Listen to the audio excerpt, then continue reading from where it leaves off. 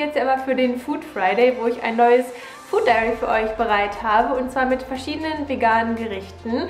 Diese Woche wieder ein gemischtes, also mit süßen und herzhaften Mahlzeiten, ganz verteilt über den Tag und ich bin ja mal ein großer Fan davon, auch aus Resten verschiedene Sachen zu kreieren und wenn man mal Lust hat auf ein bestimmtes Gericht, dass man seine eigene Kreation davon macht weil ich finde, man kann so richtig schön kreativ in der Küche werden, also mit verschiedenen Lebensmitteln, mit verschiedenen Gewürzen und ich versuche mal euch dazu auch zu motivieren, einfach mal drauf loszukochen, drauf loszubacken, da auch so ein bisschen ein Gespür zu bekommen, wie man ja, was in welchen Mengen einsetzt. Und genau, ich wünsche euch jetzt auf jeden Fall erstmal viel Spaß mit den Sachen, die letzte Zeit so auf unseren Tellern gelandet sind. Wenn man nicht weiß, was man zum Abendessen essen soll, dann finde ich, ist Curry immer eine sehr gute Idee. Da kann man nämlich auch wunderbar Reste aufbrauchen. Ich habe hierfür jetzt erstmal Reisnudeln gekocht, weil die mich so im Karton angelacht haben. Und dazu kam dann in einem anderen Topf einmal Wasser und außerdem eine Dose Kokosmilch und auch Tomaten. Und dann eine ganze Menge an Gemüse. Das ist super schön bunt geworden. Marco hat hier in einem Asiamarkt letztens so gefrorene Edamame gefunden. Da habe ich noch ein paar Bohnen dazu getan. Außerdem Mais, die noch im Kühlschrank also Maiskörner, die noch im Kühlschrank standen, dann eine Aubergine, Zwiebel und auch Tomate und Paprika noch extra. Und das Ganze habe ich einfach nur mit ein bisschen Salz, Pfeffer und so einer fertigen Currypaste gewürzt. Also wirklich richtig easy. Ein bisschen Frühlingszwiebel ist noch drin. Dazu haben wir noch einen Rest Rucola und Tomate, was man sich noch ein bisschen als Topping oben rauf packen kann. Und ja, es riecht auf jeden Fall richtig schön würzig und man hat hier eine sehr bunte Auswahl an Gemüse mit drin. Eigentlich ist Marco hier der eigentliche Star des Essen anrichtens. Ich finde, das ist richtig, also sieht mega lecker aus. Das ist Milchreis. Ich bin ja eigentlich gar nicht ein großer Fan davon, aber wenn ich das hier so sehe, da bekomme ich eigentlich auch Lust darauf. Und zwar hat er dafür einfach so Milchreis ganz klassisch mit einer pflanzlichen Milch gekocht. Und dann kam dann noch so ein Löffel von dem Energy Bomb Mix mit rein. Und obendrauf hat er sich jetzt hier so heiße Kirschen und Himbeeren gemacht. Da ist auch noch richtig schön viel Soße mit ähm, ja, bei rausgekommen. Ist dann noch ein bisschen Zimt obendrauf und geschrotete Leinsamen für die Omega-3-Fettsäuren. Und natürlich seine Basilikumblätter als Deko. Aber schmeckt wirklich immer richtig gut, wenn man noch Basilikum auf so süße Sachen mit drauf gibt. Das gibt immer noch so einen richtig leckeren Touch. Und natürlich noch ein bisschen Grünzeug. Auf dieses Abendessen freue ich mich heute ganz besonders. Wir dachten eigentlich, wir haben nichts mehr da, aber aus Resteessen entstehen ja meistens die besten Bowls, weil man da mal ganz viele verschiedene Sachen einfach reintun kann. Wir haben hier einmal gebackenen grünen Spargel. Ich finde, den kann man auch so schön variieren, also gekocht, gebacken, in, mit Pasta oder Risotto oder sowas. Also es gibt so viele leckere Varianten. Dann haben wir hier noch die Reste Kartoffeln. Die habe ich auch einfach in solche Schnitze geschnitten und dann gewürzt mit Thymian und Rosmarin. Da kamen die auch mit in den Ofen. Dann gibt es dazu noch gekochte Erbsen und Brokkoli.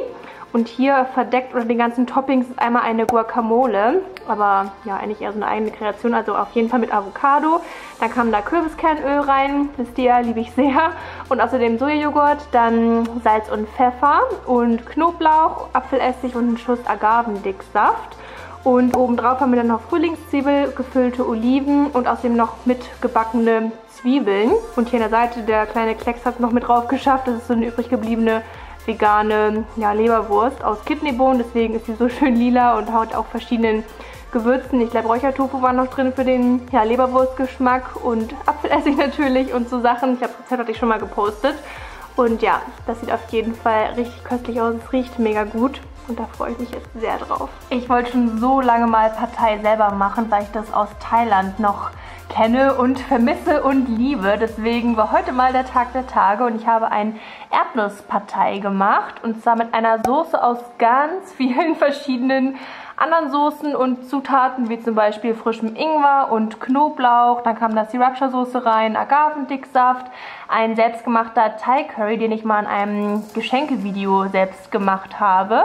Und dann kam dann noch Sojasauce rein. Habe ich das schon gesagt? Ich bin schon ganz durcheinander. Auf jeden Fall ganz viele verschiedene Sachen, dass es halt super würzig geworden ist. Und ganz viel Erdnussbutter natürlich. Und dann habe ich nebenbei Karotten geschnibbelt und auch Paprika, dann Pilze, noch mehr Ingwer und Frühlingszwiebeln. Und das habe ich dann angebraten also in ein bisschen Wasser einfach in einem großen Wok, den ich endlich mal wieder benutzen konnte dafür. Und dann habe ich nebenbei noch so Reisnudeln gekocht und am Ende kommt einfach alles zusammen in den Wok, also mit der Soße, dass es halt so richtig schön durchziehen kann. Das ist nochmal ein bisschen geköchelt worden und noch mit Spinat angereichert worden, dass der außen ein bisschen, bisschen zusammenfällt. Und betoppt habe ich das Ganze jetzt mit frischer Zitrone, auch Zitronen, Zitronensaft dann Sesam und dem grünen Teil der Frühlingszwiebel. Und es riecht so gut. Ich probiere mein Essen immer nicht, deswegen hoffe ich, dass es schmeckt. Aber es sieht auf jeden Fall so aus, finde ich. Seit gestern habe ich irgendwie mittags total Lust auf Müsli, weil es so schön lecker ist und halt mega einfach und schnell geht. Ich habe hier jetzt in die Bowl einfach Haferflocken reingetan und zwar körnige. Die bleiben immer noch so ein bisschen ja, körnig und bissfest, wenn man da Milch rüber gibt.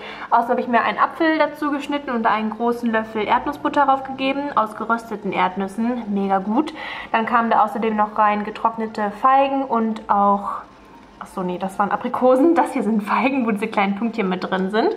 Und dann ein paar Kakaonips, Sonnenblumenkerne, ein bisschen Zimt. Mond schwimmt, glaube ich, irgendwo da unten noch mit drin. Und das Ganze habe ich dann aufgegossen mit Hafermilch und ein paar Kokoschips sehe ich hier an der Seite noch. Ja, ist auf jeden Fall richtig gut, macht halt voll satt und man hat von allem so ein bisschen. Da bin ich ja sowieso ein großer Fan von.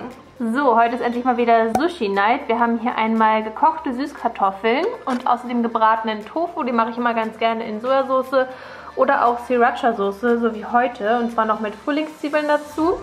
Und dann hier das Gemüse unter dem Blumenstrauß. Da haben wir einmal Avocado, Gurke und rote Beete, beides roh in solche Streifen geraspelt und auch den grünen Teil von der Frühlingszwiebel, den hellen habe ich hier mit reingetan in die Pfanne. Und dann das Beste, ich habe heute Morgen, mag Gott mich zum Glück daran erinnert, veganen Lachs zubereitet und zwar nach dem Rezept mit den Karotten, was ich auch mal in einem Brunch-Video gemacht habe. Dafür habe ich die erstmal geschält und dann geraspelt und dann so in einem Sieb über kochendem Wasser gedünstet mit dem Deckel oben drauf. Und währenddessen habe ich die Marinade angerührt mit Leinöl, Sojasauce, Liquid Smoke und Kalanamak-Salz, ein bisschen Chili, Pfeffer und Apfelessig. Und dazu habe ich dann noch ein bisschen Nori-Blätter gegeben, also so klein geschnibbelt. Das gibt nochmal einen schönen algigen Fisch, Fischgeschmack, aber auch Dill schmeckt zum Beispiel richtig gut da drin. Und die Eigenblätter haben wir ja sowieso schon ausgelegt, um da unseren Reis drin einzurollen. Den hat Marco heute Mittag schon gekocht, damit er ein bisschen abkühlen kann. Und dann nehmen wir auch immer ganz normalen Reis, einfach so weißen Basmati-Reis und kochen dann halt einen Teil Reis mit drei Teilen Wasser. Dadurch wird er halt auch so richtig schön klebrig. Und an Soßen haben wir einmal Sriracha, dann Sesam zum Dippen. Das schmeckt auch mega gut, wenn man da so die Stücke eintunkt. Und dann einmal Wasabi selbst angerührt mit unserem niemals endenden Wasabi-Pulverglas. Dann natürlich Sojasauce und Sweet Chili. Porridge Time. Es ging mal wieder super schnell und einfach. Ich habe hier einfach in die Schüssel Haferflocken gegeben und noch so andere Flocken, die irgendwie in dem Glas auf unserem Palettenregal in der Küche rumstanden. Dann habe ich eine Prise Zimt darauf gegeben und das Ganze mit pflanzlicher Milch. Da wieder Hafer, die trinken wir in letzter Zeit am liebsten. Ähm, aufgegossen und noch ein bisschen Wasser. Dann kam das Ganze kurz in die Mikrowelle für so zwei Minuten. Man kann das natürlich alternativ auch einfach schnell aufkochen, aber so konnte ich mir das Abwaschen vom Topf sparen. Und in der Zwischenzeit habe ich dann hier eine Banane geschnibbelt und eine Birne. Dann hatten wir noch eine frische Mango, die so richtig schön weich und reif ist. Dann kamen da oben drauf noch ein paar Maulbeeren, das sind schwarze Maulbeeren. Ich finde, die schmecken auch richtig gut, die sind so ein bisschen crunchy und haben aber auch so ein bisschen den Geschmack von Rosinen, also wirklich sehr zu empfehlen. Und dann kam da noch ein bisschen Sojajoghurt drauf und für noch ein bisschen extra süße Agavendicksaft.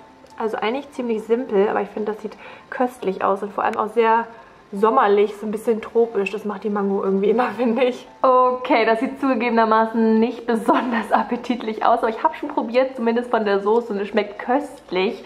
Ich habe jetzt in unseren Regalen oder in unseren Kisten, in unserem Palettenregal in der Küche so braune Linsen gefunden, die ich nochmal gekocht habe. Ich finde die super lecker.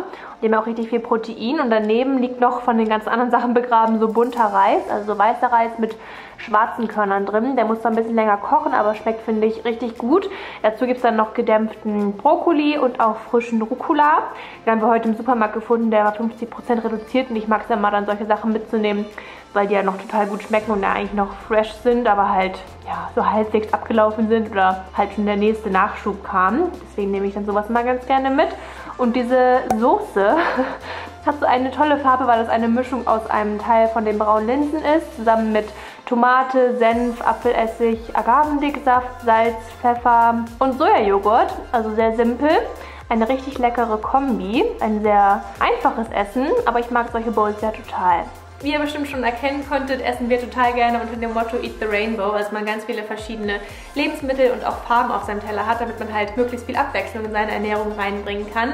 Aber ich liebe es auch total, dass man halt, ja, simple Sachen einfach isst, damit man die einzelnen Produkte auch wirklich rausschmeckt. Wenn ihr mir auf Instagram folgt, dann seht ihr bestimmt schon fast täglich, dass ich sehr gerne Smoothies zum Frühstück esse oder auch eher trinke.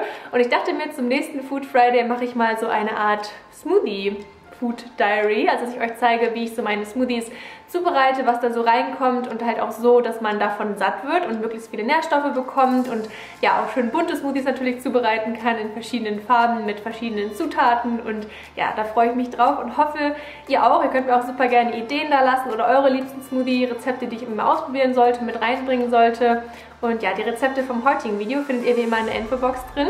Dann viel Spaß beim Ausprobieren und beim Nachmachen. Lasst es euch schmecken. Ich hoffe, dieses Video hat euch gefallen. Vielen Dank fürs Zuschauen und dann sehen wir uns beim nächsten Mal wieder.